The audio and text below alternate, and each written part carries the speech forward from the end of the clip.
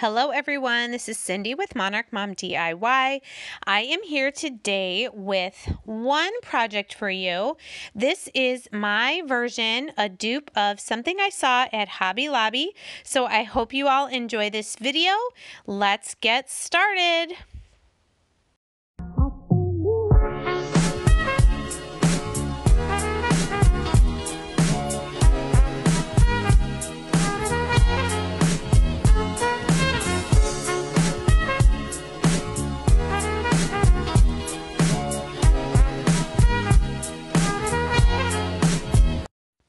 For today's project, I am using two full boxes of the Tumbling Tower blocks, one of these cookie sheets from Dollar Tree, some terracotta pots, and this sign here.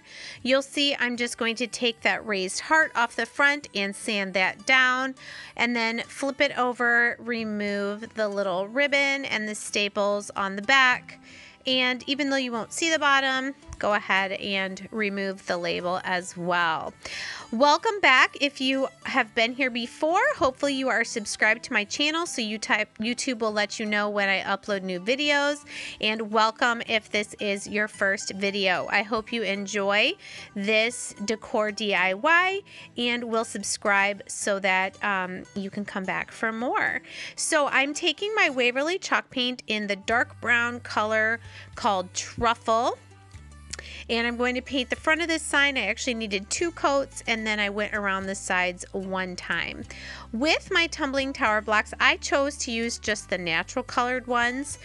So I'm going to put in the description box the total number of tumbling tower blocks I used. But for this part here, these are going to be the four, I'll call them columns of my structure. I'm going to use 10, 10, 8, and 8. So the first thing I'm doing is I'm gluing two together to make little pairs. And I'm going to do that to all of these blocks and then glue my pairs together to make long columns. All right, so here you'll see I'm gluing all of these pairs together to make five pairs out of these 10. If you watched my video where I made the lantern, this is very similar. I'm using a lot of tumbling tower blocks for this project as well. All right, so then I'm gonna glue all those pairs together and make five pairs, five pairs, four pairs, and four pairs for this first part here.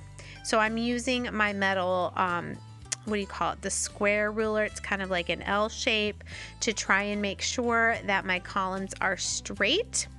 Once I have them glued together, I'm just running my hand sander over them just to even out any spots where hot glue might be sticking out um, or any rough edges. So do that to all of my columns here.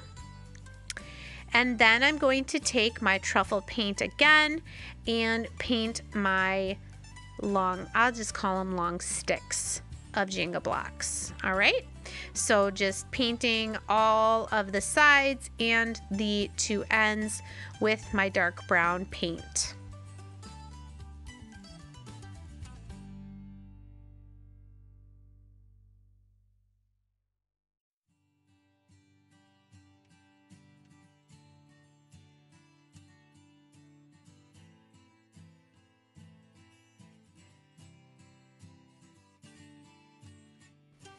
All right, while those are drying, I'm going to make some more columns.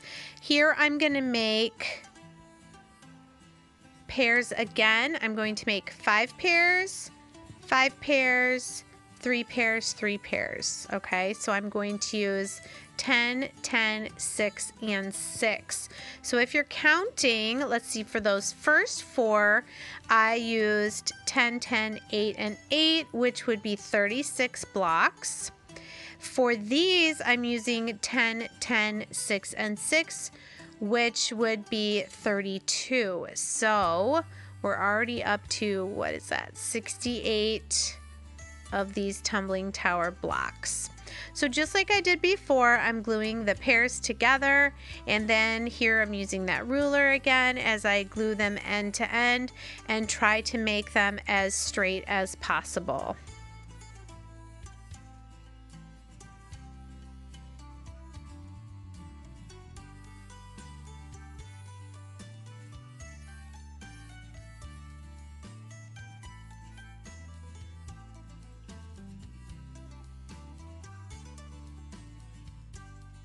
So I didn't show up, but I also painted those last sticks, the 10, 10, 6, and 6, also with the paint. These are back to my original columns that I made that are five pairs, five pairs, four pairs, and four pairs. I'm going to now glue these to the four corners of my sign. All right, I'm doing a mixture of the Fix-All adhesive from Dollar Tree and also my hot glue. Um, I come to find out that these don't really mix well together, so I would probably just stick with the hot glue. So the two taller columns are going to be at the back of my project. So here I'm putting those on first. And then the slightly shorter columns are going to go at the front of my project. So here I'm gluing those now. And I'm trying to really get these as straight as possible and as even as possible. Sorry for my shoulder in there a couple of times.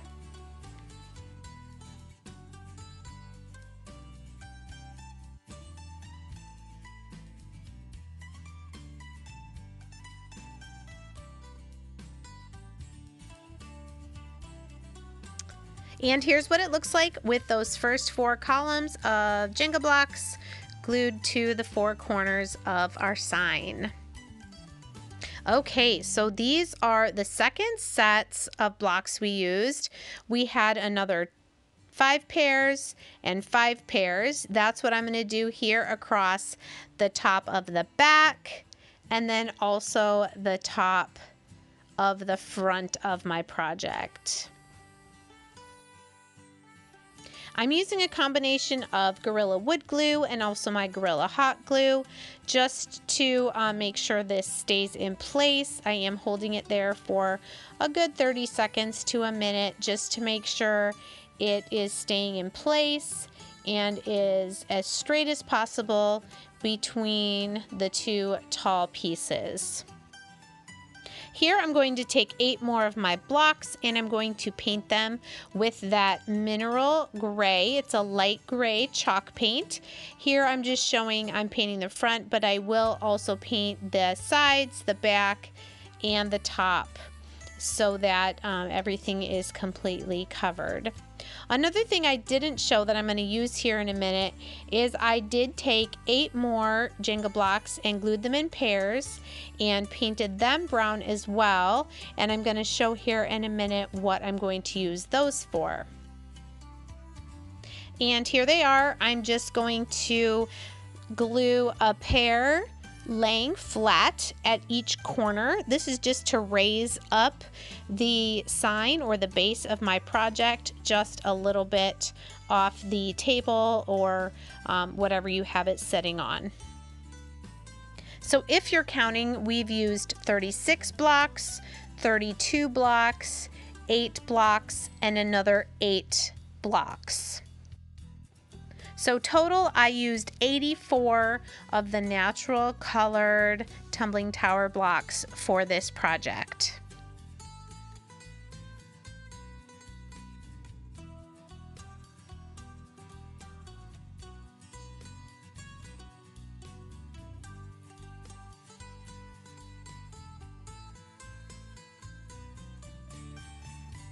So what I'm doing here is I'm measuring, this is the back panel, I guess you'd say, of the project.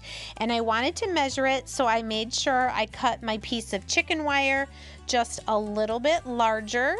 And that's what I have here and I could have used a staple gun um, mine however was out of staples so I decided I was just going to be patient and use hot glue and try and get the chicken wire as flat as possible so I could then just hot glue over it and get it to stay in place on the back of my project here.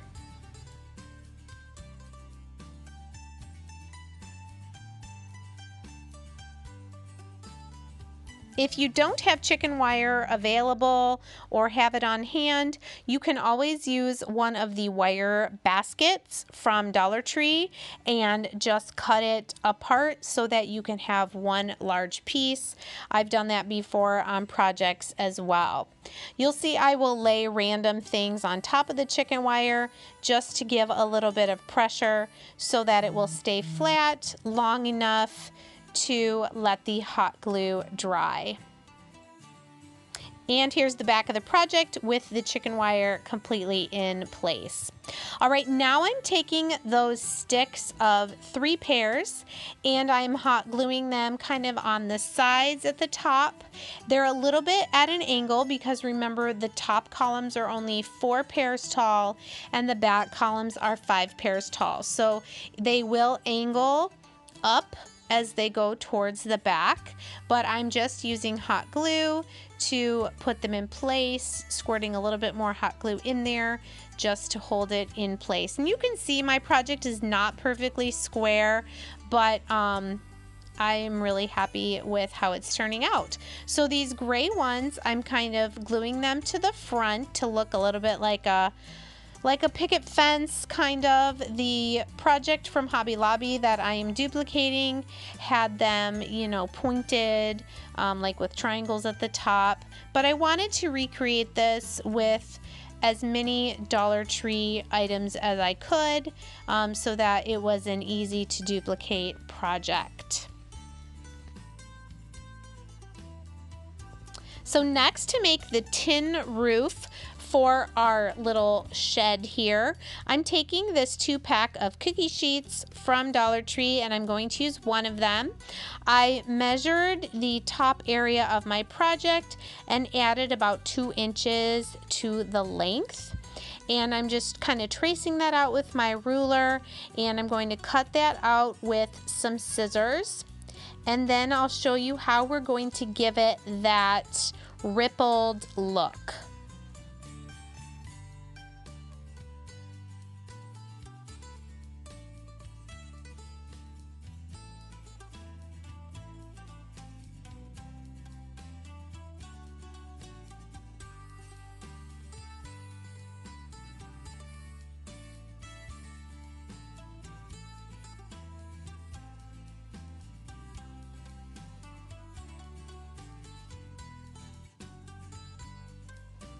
So to give that rippled look to our metal roof here, you'll see I'm going to use two dowels. I'm going to kind of form it around one and then fold it the other way with another dowel. And I'm going to keep going back and forth so that it kind of gives my metal that wave going up and down, up and down.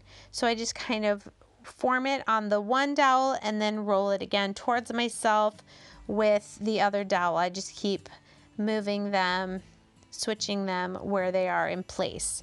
Hopefully you can see what I'm doing. If not, you can always pause this and go back. But I'm kind of just bending it around the two dowels. And then I am going to stretch it just a little bit so that it will fit the um, width here of our little shed that we're making. So to attach this is real simple. I'm just going to put a bead of hot glue and I made sure my roof was where there was um, a down part on each end. I don't know how else to say that, where the lip of it was kind of coming up so that it would easily attach there where the hot glue was.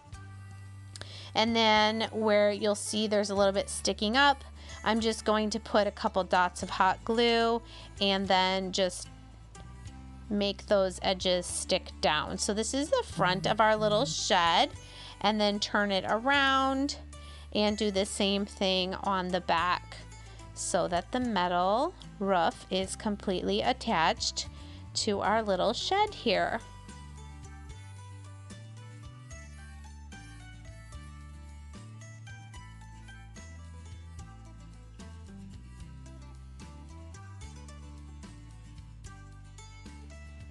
So the item at Hobby Lobby that I'm duplicating had three little galvanized metal tins. I decided to use three terracotta pots because that's what I had on hand. And right now they are readily available, not just at Dollar Tree, but also at places like Walmart and Michael's. So I have three of these terracotta pots and I decided to give them a base coat of my mineral chalk paint, also the same color that I did the little picket fence pieces at the front of my project.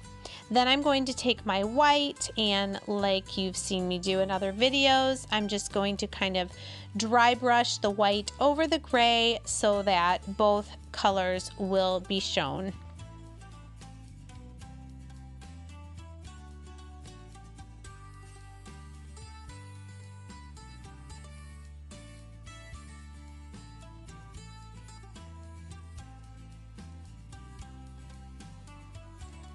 So here's our little wood shed with the three terracotta pots from a couple different angles. And here I just took some of the floral greenery that I had on hand and cut little pieces to put them inside.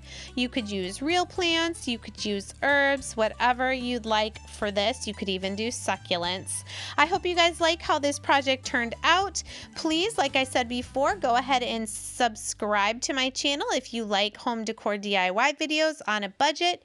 And I would love to hear in the comments what you guys are up to being home right now. Thanks so much for joining me today, and I'll see you soon. Bye.